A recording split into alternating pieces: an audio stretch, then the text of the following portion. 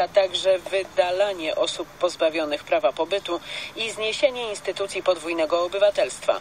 Uchwały w tej sprawie mają być przyjęte na rozpoczynającym się dzisiaj dwudniowym zamkniętym posiedzeniu zarządu CSU. Słuchasz informacji TOK FM. Zmieniły się przepisy regulujące pracę komorników. Dostali nowe uprawnienia. Jednym kliknięciem w specjalnym systemie elektronicznym mogą na przykład zająć rachunek bankowy dłużnika. Ale nowe przepisy działają też na korzyść dłużników, mówi Małgorzata Kolińska-Dąbrowska z Gazety Wyborczej. Miesięcznie na koncie człowiekowi, który ma jakieś problemy z długami, zostawać będzie zawsze 1300 parę złotych, bo to jest 75% najniższego wynagrodzenia, czyli na takie mini przeżycie ewentualnie będzie miał i co miesiąc będzie ta kwota na koncie pozostawała. Nowe przepisy wprowadziły możliwość komorniczego wyjawienia majątku. To oznacza, że wierzyciel będzie wzywał dłużnika do złożenia wykazu majątku. Za fałszywe oświadczenie dłużnikowi grozi odpowiedzialność karna. Dyrekcja krakowskiego pogotowia zawiadamia prokuraturę w sprawie nielegalnych podsłuchów w miejscu pracy. Chodzi o nagrania, które ratownicy przedstawili jako dowód na mobbing ze strony swojej kierowniczki. Ratownicy chcieli udowodnić, że szefowa ich obraża, poniża i wyzywa. Dyrekcja pogotowia odpowiedziała doniesieniem do prokuratury o prowadzeniu podsłuchów w miejscu pracy bez zgody osób nagrywanych. Na razie krakowska prokuratura nie podjęła decyzji, czy będzie postępowanie w tej sprawie. Burzliwy spór o budynek, który nie istnieje. Na sesji Rady Miasta w Lublinie chodzi o podpisaną przez prezydenta umowę na wynajem powierzchni dla Urzędu Miasta, podpisaną z prywatnym deweloperem, który buduje okazały gmach w samym centrum Lublina. Umowa po interwencji Urzędu Zamówień Publicznych została co prawda rozwiązana, ale zarzuty o niegospodarność pozostały. Anna Gmiterek-Zabłocka. Sprawę umowy badał specjalny zespół Komisji Rewizyjnej Rady Miasta. Przewodniczący zespołu z Prawa i Sprawiedliwości przygotował protokół, w którym pojawiły się zarzuty wobec prezydenta Lublina. Radny Tomasz Pitucha. Te umowy były zawierane z naruszeniem przepisów e, ustawy o zamówieniach publicznych. Wspierająca prezydenta koalicja twierdzi jednak, że prezydent i jego urzędnicy dochowali najwyższej staranności, bo chcieli, by mieszkańcy załatwiając urzędowe sprawy nie musieli jeździć do różnych miejsc, tylko by urząd był w jednym budynku w pomieszczeniach wynajmowanych od dewelopera. Radny Mariusz Banach. To był pomysł realny na to, żeby uporządkować te sprawy. W tej sprawie toczy się cały czas postępowanie z wniosku prezesa Urzędu Zamówień Publicznych, a chodzi o pociągnięcie prezydenta Lublina do odpowiedzialności za naruszenie dyscypliny finansowej. Anna Gmiterek-Zabłocka, TOK FM. Na koniec jeszcze skandal na otwarciu paraolimpiady. Białoruska delegacja rozwinęła flagę Rosji. Sportowcy tego kraju zostali wykluczeni z imprezy ze względu na skandal dopingowy. Na taką demonstrację nie pozwala karta olimpijska MKOL-u. Rzeczniczka prasowa Aleksandra Łukaszenki przyznała, że prezydent zatwierdził wniesienie rosyjskiej flagi przez przedstawiciela Białorusi. Białoruski oszczepnik, który rozwinął flagę, stracił już akredytację na paraolimpiadę. Więcej informacji z kraju i świata na tokefm.pl. Pogoda. Niewiele pracy mają w tych dniach synoptycy. Prognozy każdego dnia niemal identyczne. Zmienia się tylko temperatura. I tak, dziś w ciągu dnia do 29 stopni i wszędzie bardzo dużo słońca. Radio TOK FM. Pierwsze radio informacyjne.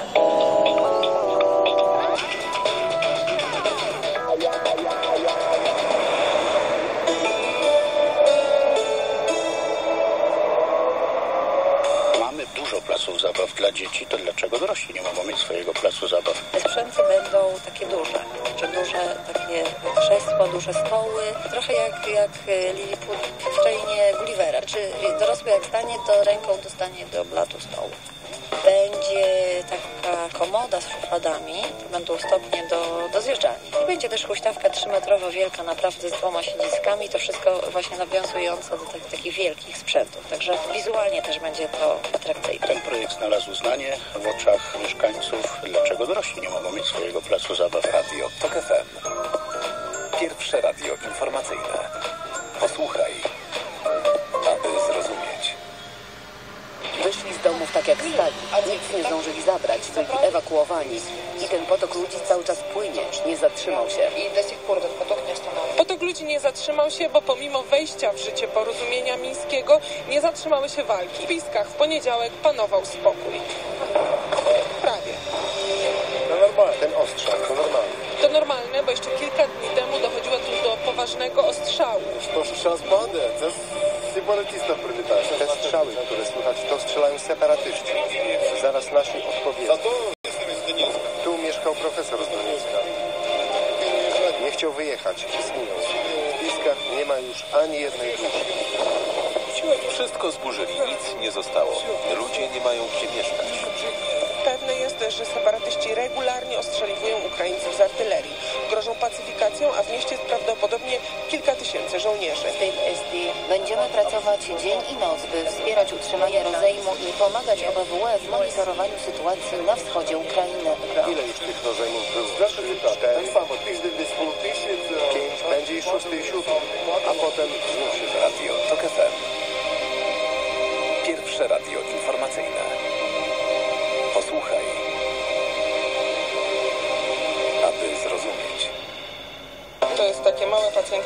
sama reguluje natężenie tej stymulacji nerwowej, tego prądu, który jest wytwarzany przez dwie baterie, dwa paluszki.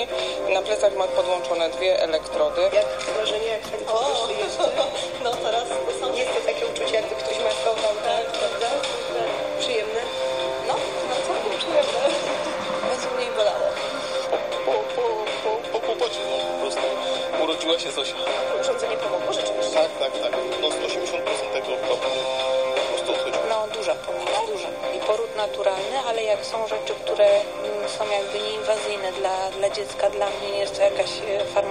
e, a rzecz, która po prostu stymuluje mięśnie i układ nerwowy, no to, to jak najbardziej. Radio TOK FM.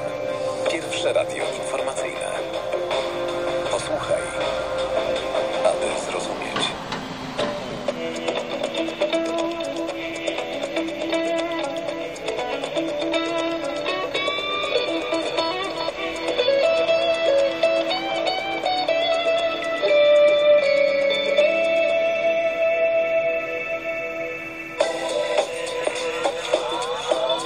Pierwsze śniadanie w toku. And what a lovely morning. Good morning. Good morning. We've talked the whole night through. Good morning. Good morning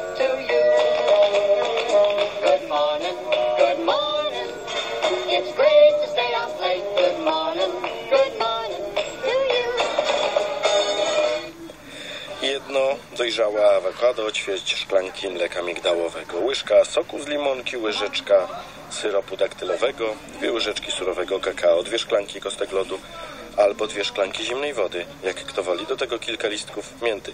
Awokado trzeba oczywiście przekroić, usunąć pestkę, łyżką wyjąć miąższ, włożyć do blendera, mleko dodać e, migdałowe, sok z limonki, syrop, wrzucić kostki lodu albo wleć wodę, zmiksować, posypać kakao, udekorować listkami świeżej mięty. Pyszne. Piotr Maślak, dzień dobry. Zapraszam na pierwsze śniadanie w toku w piątek, piąteczek, piątunio. Tomasz Kopka przygotował program, Adam Maciejewski go realizuje. E, Ten wspaniały przepis na napój z awokado, świetny na śniadanie. Polecam Państwu bardzo, bardzo serdecznie wraz z książką Violetty Domarackiej, którą nasi stali słuchacze zapewne bardzo dobrze pamiętają oraz Roberta Zakrzewskiego, którego równie dobrze pamiętają, czyli y, osob, o, y, osoby, nie wiem jak to nazwać, szalone, stuknięte, y, zakręcone, biegają non-stop, jedzą same warzywa, siłę z nich czerpią, książki piszą i jeszcze do radia przychodzą dzisiaj na przykład.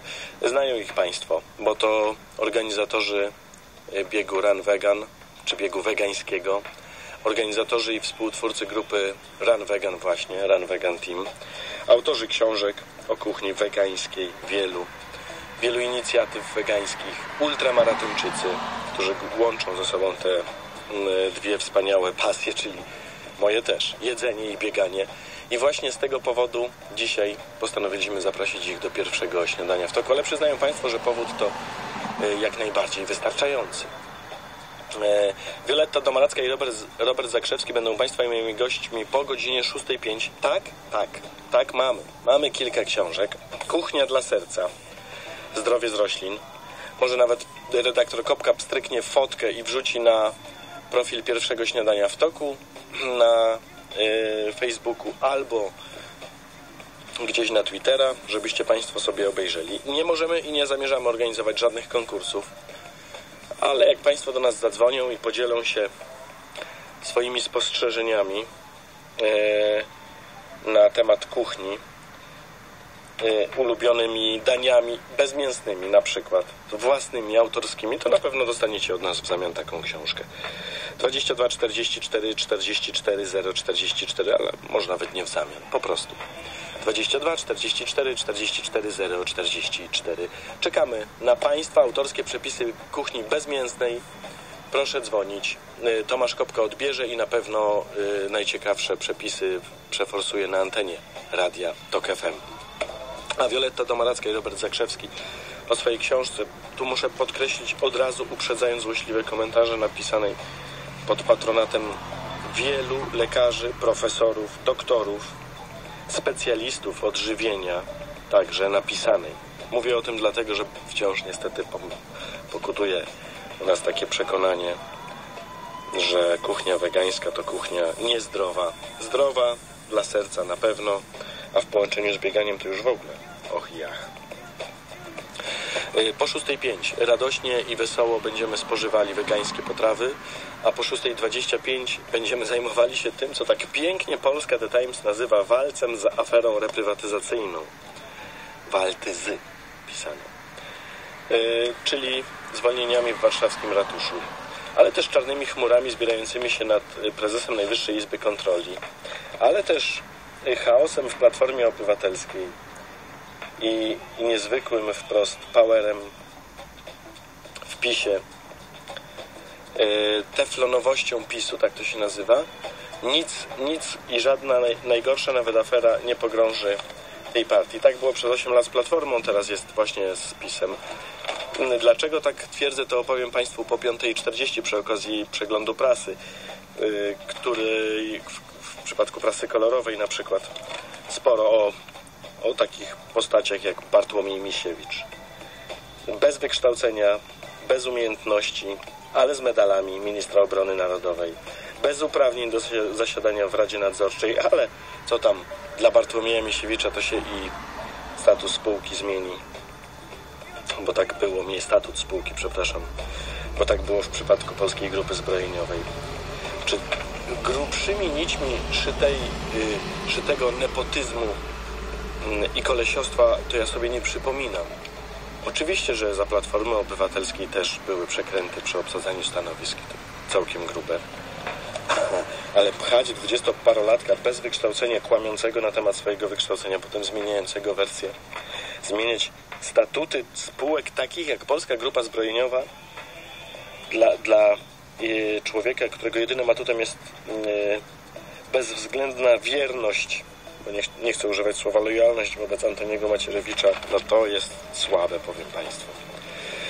No i o polityce, i o życiu w polityce, i o życiu w Polsce. Po 6.25 będę rozmawiał z profesorem Henrykiem Domańskim z Instytutu Filozofii i Socjologii PAN. Przed nami polityczny weekend. Jest o czym rozmawiać. Są 16 dokładnie na zegarach. Już za kilka minut y, informacje kulturalne, w trakcie których lub tuż po nich na twitterowym profilu Radia Tok FM znajdą Państwo prasowy Blitzkrieg, czyli o tym, co w prasie najważniejsze w 40 kilka sekund dzisiaj wyszło. Dłużej po 5.40. Zachęcam Państwa bardzo, bardzo serdecznie do zerkania na twitterowy profil Radia Tok FM. Zachęcam Państwa także do dyskusji na Facebooku na profilu Radia Tok FM. Czekamy na Państwa opinie na temat tego, co się dzieje w Warszawie. Yy, Hanna Gronkiewicz-Walc zdymisjonowała dwóch wiceprezydentów, jednego odpowiedzialnego za, za gospodarowanie nieruchomościami stołecznymi, drugiego odpowiedzialnego za inwestycje, trochę rykoszetem dostał, tak bywa w polityce. Siebie nie zdymisjonowała, jak chcieliby niektórzy. Twardo trzyma się stanowiska. Yy, Czy to początek końca yy, warszawskich rządów Anny Gronkiewicz-Walc? Czy Państwa zdaniem przetrwa? Czekam na Państwa komentarze. Pani Doronia napisała, kolejny raz nieuczciwi prawnicy wzbogacili się na przekrętach i nic im nikt nie zrobi. Najbardziej przykre, że dzieje się to w państwie prawa, mieniącym się wartościami katolickimi. Prawdziwych winnych nikt nie potępia, nikt się nawet nie zająknie, nawet nie czeka ich ostracyzm. też nad tym ubolewam. I czekam na Państwa opinie na profilu Radia Tok FM, czekam na maile śniadanie małpatok.fm oraz telefony 22 44 44 0 44. Mamy piątek, piąteczek, piątunio, piątą 17 i 34 sekundy. Najwyższy to czas przypomnieć Państwu jakże wspaniały utwór zespołu The Cure.